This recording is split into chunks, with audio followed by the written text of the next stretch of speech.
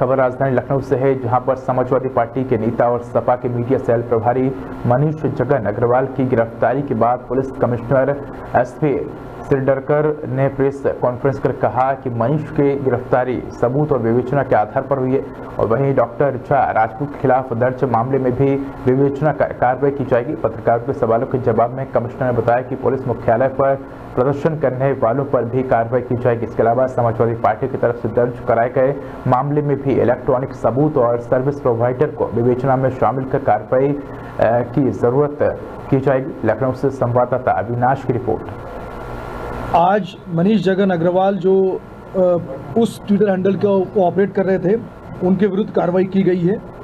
उनको गिरफ़्तार करके वैधानिक कार्रवाई की गई है।